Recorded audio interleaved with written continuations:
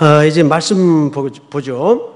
오늘 어, 누가복음 5장에 아주 익숙한 내용이죠. 그러다 보니까 헷갈려요. 왜냐하면 성경에는 어, 고기 잡던 어부들을 부르는 어, 예수님의 그 소명의 현장이 굉장히 많아요. 마태복음에도 나오고 마가복음에도 나오고 물론 누가복음에도 나오고 요한복음에도 어, 사실 등장을 합니다. 아, 그러다 보니까 어, 성경 안에서의 reference도 헷갈려요. 이게 전부 같은 사건으로 이해를 합니다. 그런데 이 누가복음 5장의 바닷가에서 시몬의 에, 배를 타시고 어, 시몬을 부르시는 이 장면은 사실상 마태나 마가의 기록과는 좀 다른 사건입니다. 당황하지 마시고 어, 성경을 쫓아서 읽다 보면 아 그렇구나. 우선 마태복음에도 이 비슷한 기사가 나오고 어, 당연히 마가복음에도 비슷한 기사가 나옵니다. 자 그런데 우선 어디서 차이가 나냐 하면 어, 한, 한 군데를 마태복음 4장을 좀 찾아보십시다. 마태복음 4장 직접 찾을까요? 4장을 보시면 18절서부터 보십시다. 갈릴리 해변에 다니시다가 두 형제 곧 베드로라 하는 시몬과 그의 형제 안드레가 바다에 금을 던지는 것을 보시니 그들은 어부라. 자, 여기 보시면 사장은 두 형제가 아, 안드레와 누굽니까? 시몬이죠. 이 사람들은 친형제예요. 그리고 안드레가 이 시몬을 예수님에게로 안내하는 장면이 요한복음에 등장을 합니다. 그래서 요한복음에 보면 1장을 한번 띄워 주실까요? 자막으로? 음, 자막을 좀 보십시다. 요한복음 1장. 아, 요한복음, 요한복음. 뒤에 나올 게 앞에 나왔어요. 요한의 말을 듣고 예수를 따르는 두 사람 중에 하나는 시몬 베드로의 형제 안드레라 41절 시작 네 시작 그가 먼저 자기의 형제 시몬을 찾아 말하되 우리가 메시아를 만났다 하고 메시아는 번역하면 그리스도라 42절 다 같이 데리고 예수께로 오니 예수께서 보시고 이르시되 내가 요한의 아들 시몬이니 장차 게바라 하리라 하시니라 게바는 번역하면 베드로라. 베드로라. 게바는 바윗돌, 반석이라는 뜻이죠.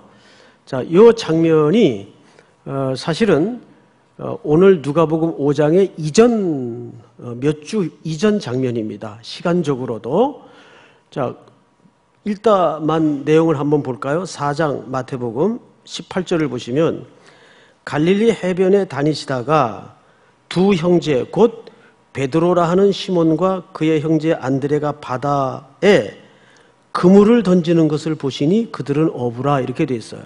여러분 오늘 본문과 어떤 차이가 있죠?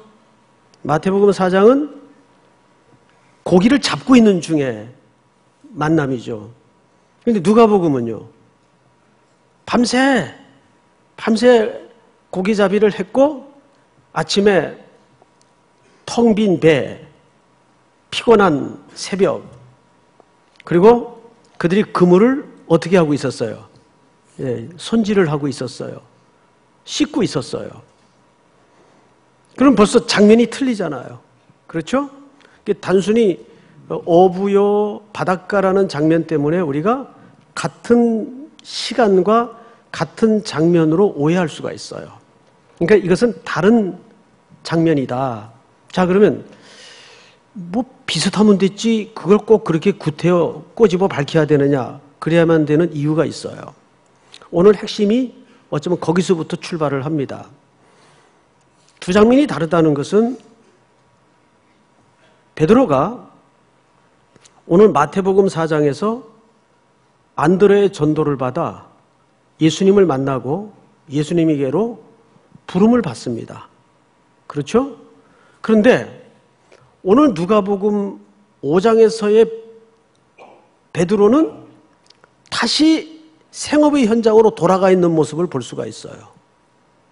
오늘 4장에서 보면 분명히 그들이 따라오너라 해서 20절에 보니까 그들이 곧 그물을 버려두고 예수를 따르니라. 마태복음 4장은 그렇게 돼 있죠? 그런데 오늘 누가 복음에 보면 이 비슷한 장면이 또 나와요. 그렇다면 찬찬히 한번 생각해 보십시오. 베드로는 적어도 몇 번 부름을 받았다는 얘기입니까? 두 번 부름을 받았다는 얘기예요. 아니, 정확히는 세 번이죠. 우리는 이 생업의 현장으로 돌아간 베드로를 또 한 번 어디서 만납니까? 요한복음 21장에서 만나잖아요. 부활의 주님을 그 아침에 만나지 않습니까? 어, 큰 베드로의 일생을 걸쳐서는 베드로는 세 번 부름을 받습니다. 첫 번째 부름은 마태복음 4장의 바로 이 현장이에요. 이때는 형제들이 있었습니다. 그리고 안들에 의해서 바로 예수님에게 베드로가 소개가 되죠. 그때 예수님이 베드로에게 해주신 말씀이 너는 베드로라. 페트로스. 너는 반석이라. 기바가 되리라. 그것은 장차 그의 운명과 사역과 삶을 내다보고 예수님이 말씀하신 내용이에요. 그리고 베드로는 성경에는 기록이 없어요. 무슨 사연인지 모르겠는데 그렇게 따라 나섰던 첫 만남의 동행을 베드로는 다시 가정으로 돌아갔던 것 같아요. 생업의 현장으로 돌아가 오늘 누가복음에서 그 현장의 주님을 다시 만나는 겁니다. 자, 성경을 그런 관점에서 오늘 본문을 봐야 오늘 내용의 진짜 의미가 정확히 드러날 수가 있어요. 5장 1절을 한번 보십시다. 누가복음 무리가 몰려와서 하나님의 말씀을 들을세 여기 하나님의 말씀이라는 것은 우리는 늘 그냥 하나님 말씀 하나님 말씀 하니까 이런 표현이 굉장히 아무렇지도 않게 익숙하게 말해지거나 들려지지만 사실 이 하나님의 말씀이라는 것은 이 당시에만 해도 굉장히 독특한 표현들입니다. 그러니까 쉽게 할 수 있는 언어나 말들이 아니에요. 그럼 하나님의 말씀이라는 것은 이 말씀의 원래 권위자가 하나님께 있다는 뜻이에요. τοῦ θεοῦ. 하나님께 이 말씀이 기원이 있다 그 뜻입니다. 많은 사람들이 하나님의 말씀을 들을 때 게네사렛 호숫가에 서서 어, 이 게네사, 게네사렛이라는 말은 사실 호수 이름이 아니고 그 근처 지명 이름입니다. 그런데 이 호수는 어떤 성경에는 바다라고도 했고 어떤 성경에는 여기처럼 호수라고도 했어요. 왜 바다라고 했을까? 어쨌든 굉장히 커요. 제가 여기 가봤잖아요. 네, 굉장히 커요. 어, 무려 넓이가 13km, 길이가 28km입니다. 그러니까 이게 보통 호수가 아니죠. 혹시 시카고에 가보신 분 계세요? 거기 어, 진짜 어마어마한 호수가 있어요. 시카고에 가면은. 사람들은 그걸 바다라 그러더라고요. 이제 보니까 바다하고 다를 바가 없어요. 호수인데 끝이 안 보여요. 바다지 뭐예요. 어마어마한 호수예요. 그 정도까지는 안 될진 몰라도 이 호수도 장난이 아니에요. 굉장히 크고 길쭉하게 돼 있습니다. 근데 그 호수가 얹어져 있는 지역이 게네사렛입니다. 자, 여기에 주님이 서서 호숫가에 배 두 척이 있는 것을 보시니 어부들은 배에서 나와 그물을 씻는지라. 여러분, 아까 마태복음에는 그물을 던지고 있었죠? 고기잡이를 하고 있었어요. 근데 오늘 이 누가복음에 나타난 어부들의 모습은 이미 새 아침을 맞고 특별히 고기잡이를 다 끝냈어요. 그리고 그물을 씻고 있습니다. 여러분 이 그물을 씻고 있다는 건 무슨 뜻일까요? 오늘은 허탕쳤지만 또 다시 내일의 꿈을 가지고 내일의 추로의 희망을 가진 채 그물을 씻고 있는 겁니다. 이 말은 베드로가 생업의 현장으로 돌아온 것 자체가 일시적인 귀향이 아니란 뜻이에요. 계속해서 이 생업을 감당하고 있었어요. 특별히 성경에 가정이 등장하는 인물은 누구밖에 없습니까? 베드로밖에 없어요. 아마도 추정컨대 학자들의 몇몇 견해를 들어보면 베드로는 유독 아내와 장모를 염두에 둔 까닭에 그가 다시 돌아오지 않았겠는가라는 추정을 어, 가능성 있게 합니다. 어쨌든 뭐 우리 주변에도 보면 어, 이런 케이스들이 굉장히 많죠. 이제 신대원에서 우리 학생들을 간혹 가르치다 보면 이 신대원생들이 고민이 많아요. 이런 케이스가 있더라고요. 어, 결혼을 했는데 결혼을 하고 나서 이 친구가 소명을 받은 거예요. 뭐 거부할 수 없는 강렬한 소명을 받은 거예요. 그래서 좋은 직장, 보장된 편안함 다 내려놓고 그냥 산에 입산하듯이 신대원에 문을 두드리고 그것도 재수 삼수한 끝에 총신 신대원이 들어가기가 쉽지 않거든요. 입학을 했어요. 1학년 때 무조건 기숙사 생활이거든요. 들어와 보니까 천국이 따로 없어요. 매일 예배 드리죠. 말씀 보죠. 또 학업 자체가 하나님에 대한 학문을 공부하죠. 소명받은 자로서는 이보다 더 좋은 일은 없어요. 자, 근데 문제는 집에 덩그러니 던져진 아내는 나는 전도사와 결혼하지 않았거든요. 그렇죠? 근데 어느 날 결혼 생활 멀쩡히 하다가 남편이 소명받았다고 양지로 들어가 버리는 거예요. 그때 아내가 겪는 그 당혹감이라는 것은 겪어보지 않으면 모릅니다. 처음부터 아예 뭐 전도사님하고 결혼을 했거나 하면 충격이 그래도 각오를 하고 들어온 길이니까 덜 하죠. 근데 이런 케이스들이 굉장히 많습니다.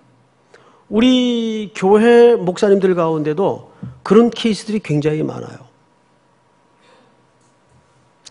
그러니까 이미 사임한 어떤 분 중에는 남편의 이 목사직이 그저 직장인의 한 직업처럼 이해를 갖는 분들도 제가 만나본 적이 있어요. 그런 건 아니잖아요. 그래서 이런 고민 때문에 이제 전사님들 가운데 혹독하게 가슴앓이를 하고 있는 친구들이 꽤 많아요. 그리고 자기는 이제 졸업하면 이제 선교사로 갈 마음이 불타 있는데 아직도 아내는 긴가민가 한 정도가 아니라 그냥 버티고 앉았으니까 그 영적인 갈등의 괴로움은 참 말로 못하는 거거든요. 그러니까 아마 베드로도 그런 맥락에 걸려 있었지 않았는가 이제 추정들을 합니다. 그러니까 어쨌든 성경은 이유를 밝히지 않으니까 모르겠어요. 그러니까 분명한 것은 그는 처음에 부름을 받았다가 그냥 충동감에 아, 이런 분 정도면 아직 이분의 실체와 정체에 대해서는 잘 모르겠지만 아, 이런 정도면 내가 운명을 걸 수도 있겠다는 마음으로 아주 훌륭한 선지자 한 분 중에 하나로 이해를 했을 것 같아요. 따라나셨어요. 그런데 계속 잡아 당기는 거예요. 나는 이 베드로의 갈등이 상식선에서 당연하다고 봅니다. 이 믿음이 없는 것, 이건 아닌 것 같아요. 누구나 이런 인간적인 그 책임감 때문에 가지는 부담이 당연히 있어야 되겠죠. 그래서 어쨌든 돌아갔던 것 같아요. 그리고 이제 또 다시 그물을 하는데 고기를 잡는데 그날은 고기가 안 잡혀요. 그래서 재밌는 해석을 한 분들이 계시더라고요. 그날은 일부러 베드로를 다시 부르기 위해서 예수님이 고기를 안 잡히게 했을 것이다. 그분이 능력이 있으니까 충분히 그랬을 수는 있을 개연성이 있어요. 근데 주님이 그렇게까지 하실 분은 아닌 것 같아요. 어쨌든 고기가 안 잡혔어요. 여러분 그 밤새 험한 파도와 바람과 그 새벽 찬 공기와 싸우면서 어, 수확을 위해서 나갔던 어부가 아무것도 건지지 못하고 가족은 딸렸는데 텅 빈 그물 그리고 배를 되돌려 돌아올 때 그거 겪어보지 않으면 모를 것 같아요. 장사 나간 엄마가 하루 종일 장사가 안 돼가지고 저녁에 애들 먹일 것도 없이 빈 주머니로 들어올 때 그 부모들의 마음과 엇비슷하겠죠. 그래도 살아야 될 삶의 현장에 있으니까 베드로는 또 내일의 희망찬 출항을 다시 꿈꾸면서 그 그물을 씻고 있었던 것 같아요. 성경을 또 보십시다. 씻는지라 3절 한번 같이 읽어볼까요? 시작. 예수께서 한 배에 오르시니 그 배는 시온의 배라 육지에서 조금 떼기를 청하시고 앉으사 배에서 무리를 가르치시더니 아, 여기에 참 그 뭐랄까 암묵적인 그 시선 교환이 굉장히 진하게 교차되었을 가능성이 100%입니다. 자, 여기 예수님이 상, 생각을 해보세요. 바닷가에 텅 빈 배 한 척에 주님이 아무 대화 없이 그냥 타십니다. 이거 전혀 처음 만나는 관계 같으면 가능한 행동일까요? 불가능하죠. 이미 그 바닷가 근처에 자기가 한때는 따르겠다고 나섰던 그 예수님이 와 계신 걸 베드로는 알았죠. 알았죠. 아, 찾아오셨구나. 여기까지 오셨구나. 어, 별 생각이 다 교차됐을 것 같아요. 그죠? 예. 그래서 주님도 말없이 그 배에 그냥 타십니다. 그러니까 이것은 이 현장에서 지금 처음 만나는 장면 같으면 있을 수 없는 상황이죠. 그러니까 이미 마태복음 4장쯤에서 두 사람은 안면을 튼 경험이 있어요. 그리고 심지어는 안면을 튼 정도가 아니라 당신의 길이라면 따르겠습니다 하고 잠시나마 따라 나섰던 적이 있다고요. 근데 그분이 되돌아간 제자를 다시 찾아오셔서 바닷가에 그, 아, 좀 이렇게 배가 고기가 꽉 찼을 때 오시면 얼마나 서로 좋았겠어요. 그죠? 어, 고기 많이 잡았구나. 근데 밤새 고생해가지고 배는 텅 비고 그물도 마찬가지고 그래서 내일 다시 출항을 위해서 그물을 씻고 있는 아주 쓸쓸한 제자를 찾아와 주님이 그 곁에 지금 서서 배에 턱 타시는 거예요. 주님도 말이 없고 베드로도 말이 없어요. 아주 쉽죠 오늘 설교는. 예, 네, 아주 쉬워요. 자 그런데 여기에 너무나 많은 그 그림 같은 장면들이 이 기억이 되살아나는 겁니다. 문장으로 말해진 장면과 더 중요한 것은 문장 속에 감추어진 장면. 그걸 우리가 헤아려야 돼요. 과연 어, 주님은 베드로에게 무슨 마음이셨을까? 특별히 베드로는 그 주님을 이렇게 다시 만나면서 어떤 마음이었을까? 그걸 한번 여러분들과 대입시켜서 스토리를 한번 만들어 보시라고요. 어떤 마음이었을 것 같아요. 조금 결론을 유보하고 성경을 따라 한번 더 보십시다. 그 배에 앉아서 이제 가르치십니다. 말씀을. 근데 이 배의 위치가 조금 묻과 떨어뜨리게 해놓고 가르쳐요. 아, 이것은 그 음향적으로도 굉장히 중요한 그 천지의 주권자답게 제가 언젠가 한번 여러분들한테 말씀을 드린 적이 있는데 저는 이 장면이 늘 궁금해서 이때 마이크 시스템도 없던 때에 그 많은 무리들을 배에서 무태 조금 떼게 해놓고 그 청중들을 그 육성으로 전달했다는 게 정말 가능한 일일까? 도대체 예수님의 음성은 몇 데시벨이길래 그게 가능할까? 물론 한 5인분 하는 분들도 있더라고요. 한번 소리 지르면. 우리 교회도 몇 분 계세요. 이 강병희 목사님이 한번 소리 지르면 어, 마이크 없이 충분히 전달이 되더라고요. 아, 그 데시벨이 굉장히 높아요. 뭐 그런 음성도 있죠. 예. 그리고 또 목소리가 가늘고 얇은 분들도 있고. 그래서 친구들하고 저 벽제 근처에 가면 혹시 그쪽에 사시는 분 계신가 모르겠네. 대자리라고 있습니다. 대자리. 잘 모르시죠? 예, 벽제 근처 지나서 있어요. 거기 이제 그 신혼 살림을 하던 친구가 집을 옮긴다 그래서 이삿짐 날라주러 갔댔어요. 어, 그래도 그 시절에는 좀 낭만이 있어서 친구들 이사한다 그러면 다 오라 그러지 않아도 갔어요. 가가지고 이제 이삿짐 다 날라놓고, 어, 뭐 신혼집이니까 이삿짐이래야 뭐 얼마 있어요. 그냥 대충 옮겨다 놓고 놀러 나갔어요. 호숫가로. 그 배가 있더라고요, 마침. 어느 할아버지가 이렇게 앉아 있더라고요. 배 주인인 것 같아요. 그래서 저희가 부탁을 했죠. 할아버지 배 한번 태워 주실래요? 그랬더니 타래요. 그 배를 탔어요. 그리고 이제 친구를 저쪽에다 떨어뜨려 놓고 그 배에 앉아서 처음에는 작은 소리로 얘기를 했어요. 내 말 들려? 그랬더니 거리가 정말 들리지 않을 수 없는 거리인데 명료하게 들리는 거예요. 어, 들려. 이게 뭔가 이게 물의 파장 때문에 그런지 과학적인 이유는 제가 문외한이니까 잘 모르겠어요.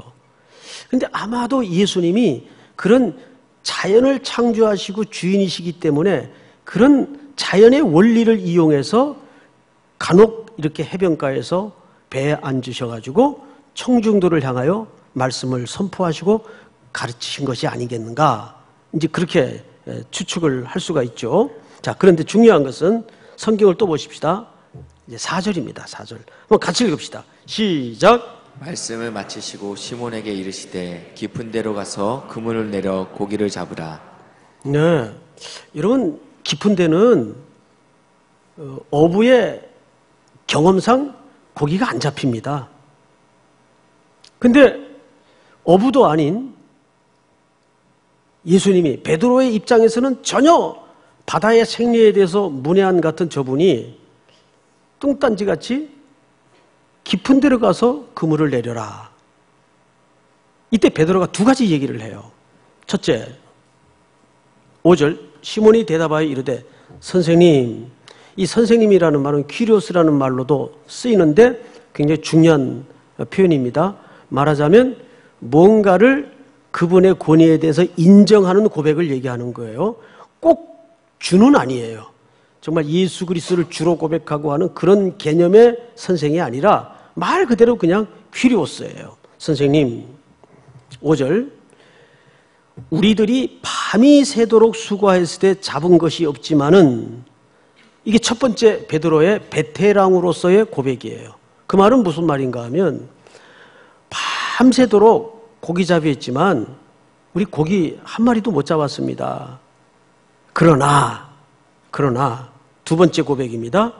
말씀에 의지하여 내가 그물을 내리리다 하고 그렇게 하니 베드로는 어떻게 이렇게 할 수 있었는가를 이제 우리가 상상해 보는 게 과제예요. 자, 이제 조금 한호 멈추고 이 문제를 해결하고 지나가십시다. 베드로는 아시는 것처럼 바다의 생리와 고기잡이에 관한 당대 베테랑입니다. 그런데 생면 알지 못하는 바다와 고기잡이에 대해서 알지 못하는 예수님이 깊은 데로 가서 그물을 내리라 했을 때 그걸 어떻게 수납할 수 있었냐 그 말이에요. 여러분 같으면 이게 가능하겠어요? 저는 전문가를 신뢰하는 쪽에 기초를 갖고 있습니다. 바다와 고기잡이에 관한 예수님이 말씀을 잘 가리키는지 몰라도 경험자가 아니거든요. 그런데 베드로가 어떻게 그 말씀에 의지하여 그물을 내리겠다는 고백을 할 수 있었을까? 어떻게 가능했을 것 같습니까, 여러분? 배에서 말씀을 가르치는 예수님의 말씀을 베드로도 한 발자국 떨어져서 조용히 들었겠죠. 조용히 듣는 가운데 그 말씀이 베드로의 영혼을 지배하기 시작합니다. 압도하기 시작합니다. 아, 이상하다. 저분의 가르침은 범상치 않다. 일반 교사들이나 율법사들이 가르치는 가르침과는 다르다. 아, 이게 뭘까? 저분은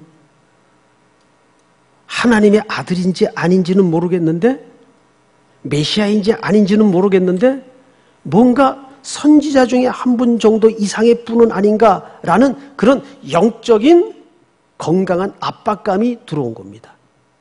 그래서 그는 뭘 내려놓을 수 있었어요? 자기의 경험, 업으로서의 시각, 업으로서의 경험과 관점을 먼저 내려놓을 수가 있었어요. 그리고 이어서 예수님에게 한 고백 중에 두 번째 고백이 뭐냐면 말씀에 의지하여 그물을 내리겠습니다. 자, 결과 어떻게 됐나요? 성경을 보죠. 6절. 그렇게 하니 고기를 잡은 것이 힘이 많아 그물이 찢어지는지라. 뭐 이렇게 많이 몰아주셨을까? 여기에서 또 재밌는 글이 있더라고요. 예수님이 고기 많은 데를 아신 건지, 아니면 고기를 글로 몰아주신 건지, 어느 쪽일 것 같아요, 여러분들은? 그 저도 그 글을 읽다가 한참 생각했네요. 고기 많은 데를 아셨을까? 고기를 몰아주셨을까? 아무래면 어때요? 그게 중요한 건 아니잖아요. 그별 고민을 다 하는 분들이 참 많아요. 예, 글을 읽다 보면. 뭐, 고기 많은 대로 가르쳐 주셨던 고기를 글로 몰아 주셨던 중요한 건 그분이 만물의 통치자의 주권자라는 사실입니다. 그리고 오늘 이 본문에서 중요한 것은 그물이 찢어져요. 데럴복 같은 분은 이 찢어지기 직전 상태를 얘기합니다. 그러니까 만선이죠. 만선. 자, 이 만선의 결과를 베드로와 함께 주변의 제자들이 보고서야 이제 그에게 자동적으로 나타난 어떤 반응이 있었어요. 그 반응을 좀 보자고요. 6절을 잘 보시면 7절 어, 이에 다른 배에 있는 동무들에게 손짓하여 와서 도와달라 하니 그들이 와서 두 배의 채움에 잠기게 되었더라. 이 잠기게 되었다는 말이 배가 가라앉을 정도로 배가 물에 가라앉을 정도로 고기가 배 안에 가득 찬 거예요. 이 배 빌려 탄 값치고는 너무 많이 몰아주신 거 아닌가 하는 생각도 들어요. 8절을 한번 다 같이 읽어볼까요? 8절 시작. 시몬 베드로가 이를 보고 예수의 무릎 아래 엎드려 이르되 주여 나를 떠나소서 나는 죄인이로소이다 하니 네 아, 바로 이 부분입니다 오늘의 거의 이제 결론 부분이죠 만약에 저 같으면 예수님이 내리라는 곳에 그물을 내려서 이 정도 두 배 가득 채워질 정도로 만선의 경험을 경험했다면 주님을 떠나라 그래야 되겠어요? 어떻게 하든지 악착같이 붙들어 놓고 있어야 되겠어요? 억울하면 당연히 붙들고 있어야죠. 이분이 금을 내리라는 곳 족족 내리면 어떻게 될까요? 금방 빌딩 하나 임대업자가 되는 겁니다. 네? 임대업자. 조물주보다 높보다는 건물주. 건물주. 임대업자가 되는 거예요. 근데 베드로가 무슨 정신에 뭐에 홀려서 떠나서서 그랬어요. 떠나서서. 저는 베드로라는 캐릭터를 야곱과 함께 이렇게 공부를 하다 보면 어쩌면 인간이 가질 수 있는 민낯을, 약함을, 순진함을 다 갖고 있는지 알 수가 없어요. 이게 베드로 속에 감추어진 모습인데 일단 베드로는 굉장히 순진했어요. 굉장히 순진했어요. 베드로가 떠나라 했던 이유는 뭘까요? 간단합니다. 면목이 없는 거죠. 선생님, 저는 앞서 만나 선생님이 저한테 말씀해 주셨던 나를 따르라는 말에도 순응하지 못했고 또 선생님 저한테 그런 말씀도 해 주셨잖아요. 너는 베드로라. 너는 반석이라. 장차 개발하리라. 근데 저는 그렇게 심지가 견고하게 그런 인물도 못 됩니다. 선생님 저를 떠나 주십시오. 예수님은 그러면 이 베드로를 지금 두 번째로 여기에 왜 찾아오셨을까요? 항상 구원에 관한 기초를 잊지 마세요. 하나님은 한 번 작정하고 부르시고 택한 백성들을 중도 포기하시는 법이 있다 없다. 이거 분명히 하고 지나갑시다. 요즘 이 구원론에 대해서 헷갈리게 말하는 사람들 굉장히 많아요. 중도 포기 또는 칭의 유보 있다 없다? 없다. 그런 모든 신학의 이론들은 예수 그리스도의 십자가를 욕되게 하는 이론들입니다. 예수 그리스도의 십자가의 예수를 두 번, 세 번 죽이는 일입니다. 믿습니까? 주님의 십자가의 영단번 죽으심은 우리의 모든 부르심과 선택과 구원을, 완성을 거기에 이미 다 이루어 놓으신 거예요. 중간에 베드로처럼 가정으로 돌아가고 세상 길로 다시 돌아갔을지라도 주님은 주님의 한 번 부르심에 결단코 포기하거나 그 계획을 변경시키는 법이 없어요. 인간의 어떤 상태의 유무와 상관없이 믿습니까? 이것이 성도의 견인입니다. 한 번 부르심에는 그 완성까지 그분이 반드시 붙들고 끌고 가고 책임진다는 얘기예요. 자, 그런데 10절을 보시면 이렇게 되어 있습니다. 어, 9절을 맞아 8절 어, 나를 떠나소서 나는 죄인이로소이다 하니 이는 자기 및 자기와 함께 있는 모든 사람이 고기 잡힌 것으로 말미암아 어떻게 됐다고 되어 있죠? 놀라고 자 이 놀라움 이 놀라움의 정체는 뭐냐하면 경이로움에 대한 놀라움입니다. 불신에 대한 놀라움, 황당함에 대한 놀라움이 아니라 신적 권위에 압도되는 어떤 경의에 대한 놀라움이에요. 이걸 지금 바닷가에 있는 베드로와 이걸 목도한 자들이 다 동일하게 경험하고 있는 거예요. 그래서 여러분 어, 조심스러운 얘기지만 교회는 신비주의에 빠져서는 안 되지만 신비합니까 안 합니까? 그렇죠. 교회는 신비한 곳이에요. 그 신비를 우리는 경이로움이라고 얘기해요. 그런데 오늘날 너무 교회가 계산대로 가면 안 돼요. 너무 지출 수입 따져가지고 사역 정하고 어느 정도 툴은 있어야 되겠지만 교회가 우리 교회도 보면요 맨날 초과돼요. 예? 그래서 재정부장이 아주 늘 머리가 아파요. 맨날 초과돼요. 근데 일하다 보면 그리 됩니까 안 됩니까? 그렇게 될 수밖에 없거든요. 예상대로 가는 법이 없어요. 그런데 오랜 경험상 남겨지는 결론 하나가 있어요. 첫째, 교회는 어떤 교회가 하나님이 역사하시는 교, 회냐 하면 잘 들으세요. 우리 간사님들도 예상치 못한 일이 자꾸 생겨야 돼요. 믿으세요? 어, 이 100명만 오면 되는데 자꾸 200명씩 오고 밥 모자라고 예상치 못한 일이 생겨야 돼요. 제가 앞서 교회에서 청년들 새벽밥을 시작했는데 새벽 기도는 얼마 안 나오는데 식당만 자꾸 부흥되는 거야, 식당만. 그한 번은 머리를 헤아려 봤어요. 그랬더니 야 이게 기산이 이상하다. 새벽 기도에는 예를 들어서 100명이 나오는데 식당엔 한 300명이 앉아 있는 거예요. 그래서 이제 담당 목사님을 불러다가 이 목사 너 이거 숫자 좀 헤아려 봐라. 이게 어떻게 된 거냐 숫자가 그랬더니 이분이 한 얘기예요. 머리를 긁적긁적 하면서 아니 목사님 그 좀 예상치 못한 일이 생겼습니다. 뭐가 예상치 못한 일인데 그랬더니 교회에서 새벽법 준다는 소문이 고시원 쪽에 쫙 나가지고 고시원에 있는 청년들은요 한 달에 그 당시에 30만 원 가지고 먹고 입고 자고 학원비 도서비 도서실비를 어쨌든 생활을 다 해결해야 돼요. 이게 얼마나 얼마나 빠듯하겠어요. 근데 그런 시간에 밥 한 끼 공짜로 절약하는 것은 그들에겐 큰 겁니다. 그러니까 그 고단한 새벽에 그들이 2시간, 3시간 자는데 일어나서 그 아침 한끼 해결하려고 교회 식당으로 오는 거예요. 그러니까 식당만 자꾸 부흥이 되죠. 근데 이 부흥이 또 예상치 못한 일이 생긴 게 자꾸 새벽 기도로 올라가는 거예요. 실제.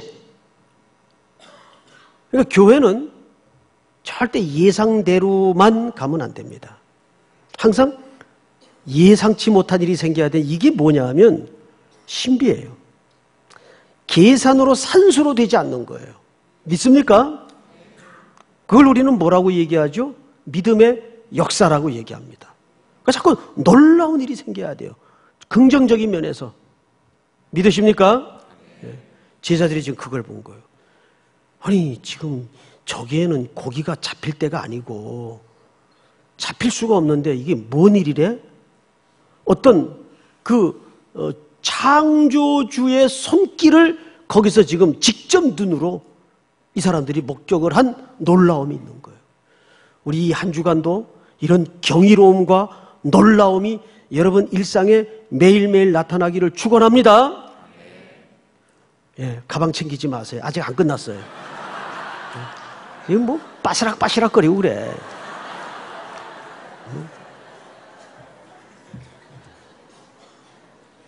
지난주 조금 길게 했더니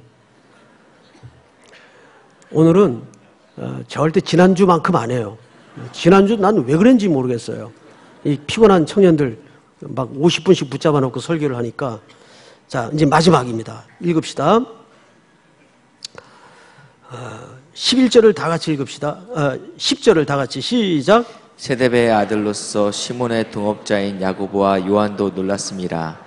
예수께서 시몬에게 이르시되 무서워하지 말라. 이제 후로는 내가 사람을 취하리라 하시니.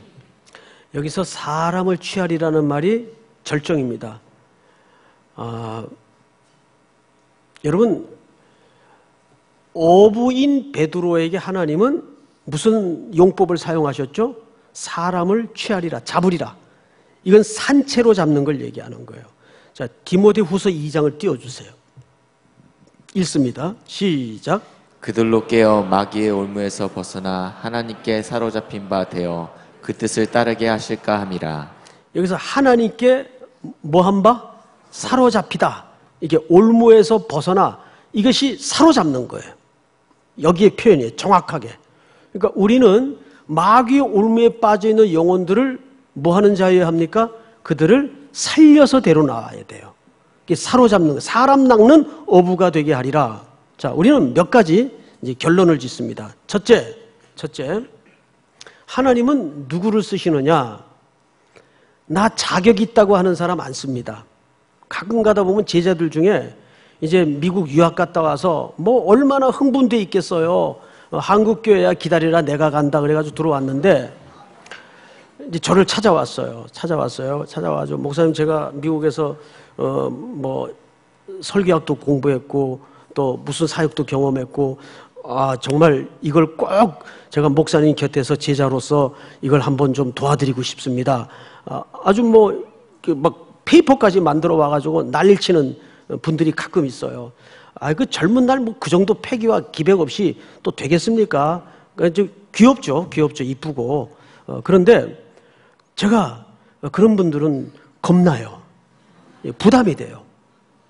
그래서 어, 다음 적당한 기회에 보자고 그리고 이제 정중하게 돌려보낼 때가 많습니다. 근데 가만 보면 하나님은 특별히 예수님은 왜 이런 도망간 베드로를 다시 부르실까? 근데 여기서 끝나는 게 아니죠. 디베레 바닷가까지 또 쫓아가요. 근데 그분의 사랑을 생각하면 눈물이 겹죠. 나 같은 게 무엇인데 이렇게 끝까지 추적하시는가? 포기 않는가? 하는 생각에 우린 여기서 영혼에 대한 영혼에 대한 예수님의 태도를 봐야 됩니다. 예수님이 계산대로 하면 베드로 싫어? 간도 너 같은 애들 셌어. 충분히 그러겠죠. 야, 너 없으면 일 안 되냐?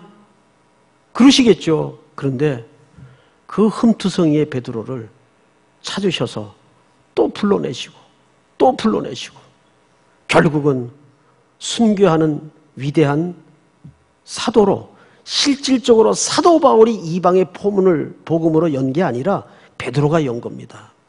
대표적인 사건이 고넬료 집안의 사건 아니에요. 이방의 실질적인 선교의 문을 연 것은 바울이 아니에요. 이 베드로가 열은 거예요. 베드로의 어떤 자질을 보았을까요? 아니에요. 베드로는 계속 나는 죄인입니다. 나는 반석도 안 됩니다. 자기 존재 자체에 아무 조건과 근거가 없다는 걸 알았어요. 그렇지만 주님이 끝까지 추적하셔서.